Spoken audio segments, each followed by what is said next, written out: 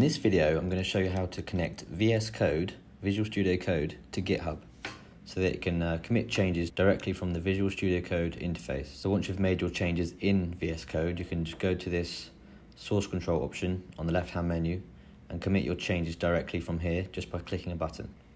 So I've made some step-by-step -step instructions on this PowerPoint slide and I'll put this on my GitHub. Um, so you can just go to my GitHub, I'll link it in the description and you can use this as a reference um, and you can just follow through the instructions yourself. Uh, but I'm going to take you through it step by step. So the first thing you're going to want to do is actually initiate the GitHub repository. So go to GitHub, you want to click New, um, and then just set up the repository. So for this example, I'm just going to call it test proj. Uh, we'll make it public and we'll add a README file and click create repository. Uh, and then once you've created the repository, you want to go to this code tab and copy under the SSH, you want to copy this. Um, if you haven't got SSH set up, then you can always use HTTPS, um, either or. Uh, we're basically just going to use this to clone our project. So on Windows, open a command line and go into a folder where you want the, the GitHub repo to, to be stored. So for me, I'll go into documents and I'm just going to clone the GitHub repository here. So to clone the GitHub repository, you go git clone and then paste the SSH or HTTPS uh, string. Okay, that's done. So next thing you want to do is go back into your home directory. So for me, that's this and I'm just going to quickly list the files that are in here. So there should be a .ssh folder. So this is by default in, in your home directory and you want to go into that folder.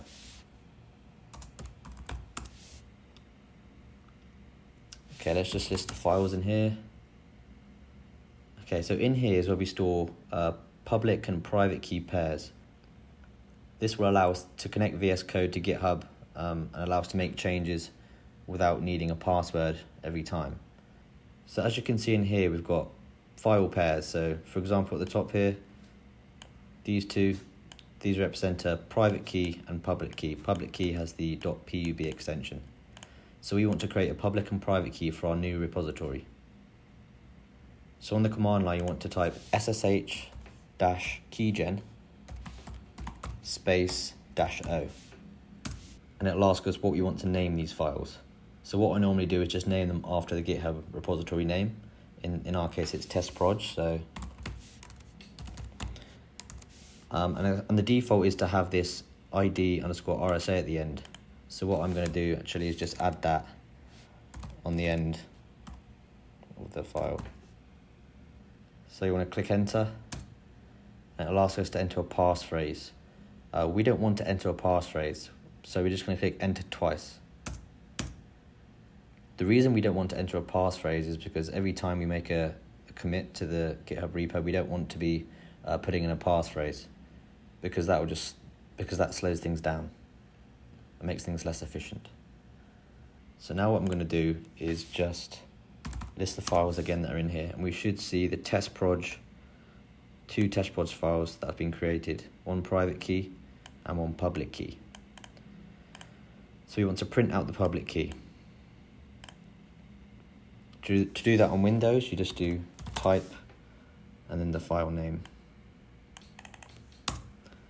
And it prints out the public key for us. We're going to copy and paste this into GitHub. So select it, copy, go back to GitHub. Uh, in the top right, you go to settings, then go down to SSH and GPG keys, new SSH key. Uh, in the box here, you can paste public key. And the title, I normally just name it after the, the GitHub repository. So in our case, we called it test proj, so I'm going to put test proj here. And then we click add SSH key. And now if we scroll down to the bottom, we should see that key has just been added. Great. So now what we're going to do is go back to the command line. And in this folder, this uh, SSH folder, there's a file called config. We now want to edit this config file. So to do that on Windows, you type notepad config. It should bring up this file. We're just going to scroll to the bottom.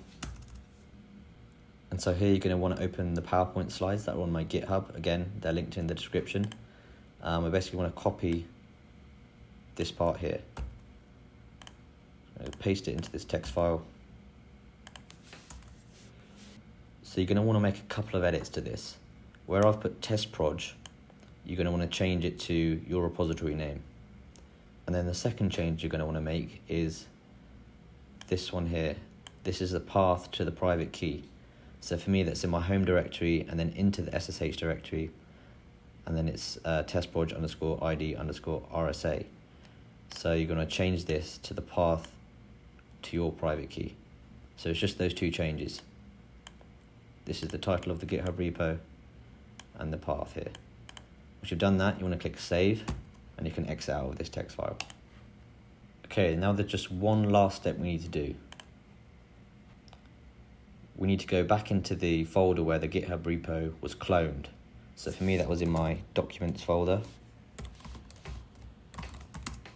Let's just check it's in here. Test project, yep, it's there. You actually want to go into the into the folder itself.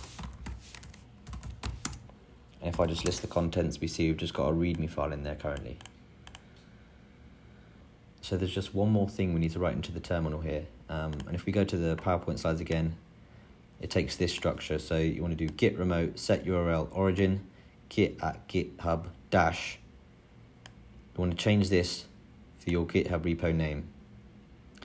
Then we have colon, and then we have your GitHub username forward slash GitHub repo name dot git. So there's three bits you need to change. You need to change the GitHub repo name here, your GitHub username, and the GitHub repo name at the end here as well.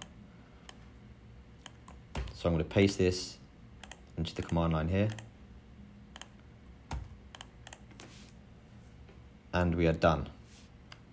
So now let's just test this has worked. So you want to open VS Code and open the folder where you clone the GitHub repository.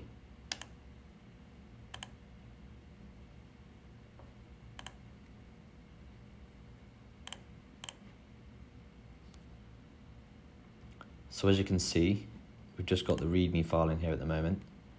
But what we're going to do is just going to create, let's just create a text file for now. So let's just do, let's call it test.txt. And then here we're going to write, this is a test. We're going to save it. And if you go to this uh, source control icon in the left-hand menu, this is where we commit our changes. So in this box, you're going to want to write a commit message. So I'm just going to write first commit from VS Code. Click, click commit. And then finally click sync changes. So that's basically pushing our changes to GitHub. So that's done. Um, we're going to go back to GitHub and just check it's worked. So go to your repositories, go to test proj, and as we can see, updated 21 seconds ago, We've got this text file. This is a test. So that's pretty much how you connect GitHub to VS Code so that you can easily push changes to GitHub from the VS Code interface. Again, I've provided the uh, step-by-step uh, -step instructions on a PowerPoint slide, uh, which you can access from my GitHub. I'll link my GitHub in the description. So on that note, thank you for watching, and I'll see you in the next one.